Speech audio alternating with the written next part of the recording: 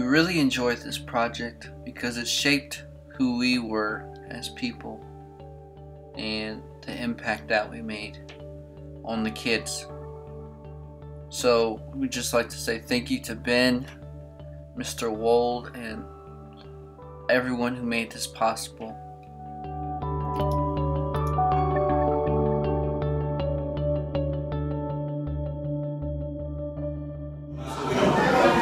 Thank you to the Gentiles.